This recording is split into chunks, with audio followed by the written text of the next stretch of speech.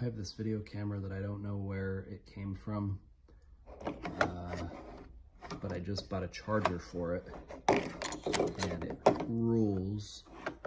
There's a 60 times optical zoom and a 2000 times digital zoom, which I haven't even tried that out yet. It's probably worthless, but the 60 times optical zoom is so cool they don't make them like this anymore and they never will again. God bless you, Sony.